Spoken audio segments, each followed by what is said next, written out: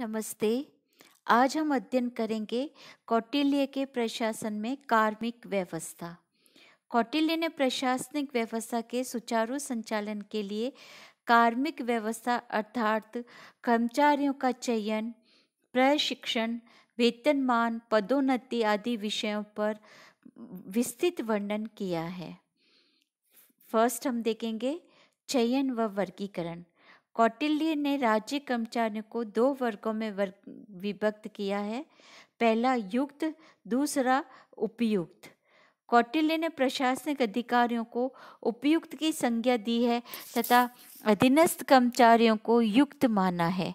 कौटिल्य का मत है कि युक्त व उपयुक्त दोनों श्रेणियों के राज्य कर्मचारियों को नियुक्ति प्रदान करते समय उनके पद के दायित्वों और कार्य क्षेत्र को भली भांति निर्धारित कर दिया जाना चाहिए, ताकि उन्हें अपने दायित्वों के विषय में कोई भ्रम न रहे तथा विभिन्न अधिकारी व कर्मचारी एक दूसरे के कार्य क्षेत्र में अनावश्यक हस्तक्षेप न कर सके।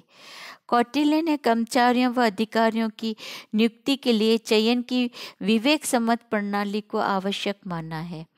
योग्यता और निपुणता के आधार पर ये नियुक्तियाँ दी जानी चाहिए। नेक्स्ट है, कर्मचारियों के लिए आचार संहिता। कौटिल्य ने राजकीय कर्मचारियों के लिए एक विस्तृत आचार संहिता का प्रतिपादन किया है। उसमें निम्नलिखित अपेक्षाएँ बताई गई है। पहला, अपने निर्धारित अधिकार क्षेत्र के अनुरूपी कार्य करना। दूसरा, सत्य भाषण। तीसरा, व्यवहार में शिष्टाचार और शालीनता का निर्वाह। चौथा, कर्मचारियों में पारस्परिक गुटबंदी न करना। पांचवा, सदैव राजा का हित चिंतक रहना।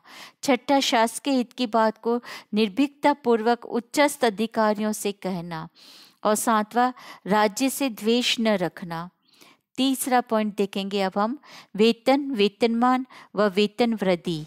कौटिल्य ने प्रशासनिक अधिकारियों व कर्मचारियों को उनके पद के अनुसार वेतन देने का समर्थन किया है। कौटिल्य का मत है कि कर्मचारियों को पर्याप्त वेतन दिया जाना चाहिए, जिस, जिससे कि वे अपने परिवार का अच्छी तरह भरण पोषण कर सके। कौटिल्य ने विभिन्न वर्गों के अधिकारियों और कर्मचारियों के लिए उनके कार्य और योग्यताओं के अनुरूप वेतनमान निर्धारित करने पर बल दिया है। प्रशासनिक अधिकारियों के वेतनमानों की कौटिल्य ने सामान्यतः तीन श्रृंखला स्वीकार की है। आचार्य, मंत्री, पुरोहित, सेनापति व युवराज आदि को कौटिल्य ने एक ही श्रेणी में मानते हुए अड़तालीस हज़ार पर्ण वार्षिक वेतन निर्धारित किया है। द्वितीय श्रेणी में द्वारपाल अंतर्वेशिक आयुधगाराध्यक्ष समाहर्ता सनिधाता को सम्मिलित किया है और इनका वेतन चौबीस हज़ार पण वार्षिक निर्धारित किया है। नायक, पौर, व्यवहारिक, कर्मांतिक, राष्ट्रपाल, अंतपाल व निम्नस्थ श्रेणी के मंत्रियों को कौटिल्य ने तृतीय श्रेणी का वेतनमान प्रदान करते हुए उन्हें बारह हज़ार पन वार्षिक वेतन दिया जाना उचित माना है। वेतनमान की चतुर्थ श्रेणी में कौटिल्य ने सेना के विभिन्न अंगों के अध्यक्षों तथा प्रशासन के कतिपय महत्वपूर्ण विभागों के अध्यक्षों को सम्मिलित किया है तथा उन्हें चार हज़ार पन वार्षिक वेतन देना उचित माना है।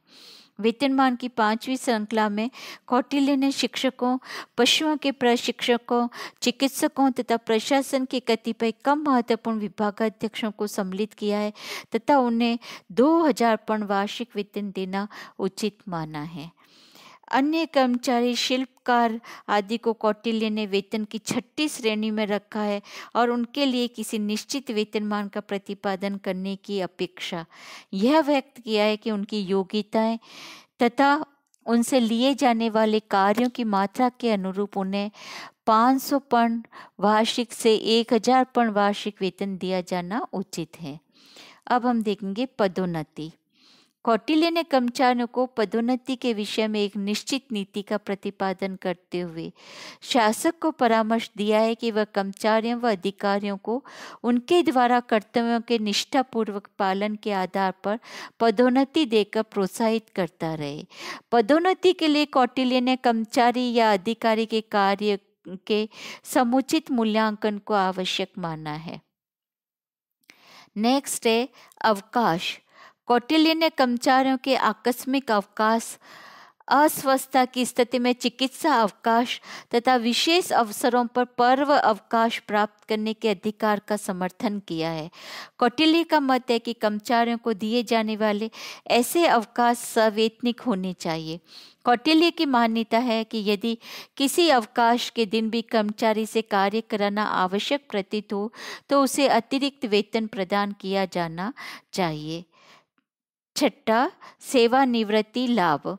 कौटिल्य ने कर्मचारियों की आयु अधिक हो जाने पर तथा उनकी कार्य की क्षमता कम हो जाने पर उन्हें सेवा से निवृत्त कर दिए जाने की व्यवस्था की है। उन्होंने शासक को परामर्श दिया है कि वह कर्मचारियों की सेवा निवृत्ति के पश्चात उनके भरण पोषण के लिए पेंशन की व्यवस्था करे। राजकीय सेवा के अधीन किसी कर्मचारी की मृत्यु हो जाने पर कौटिल्य ने उसे मिलने वाला वेतन उसकी पत्नी व पुत्र को प्रदान किया जाना उचित माना है।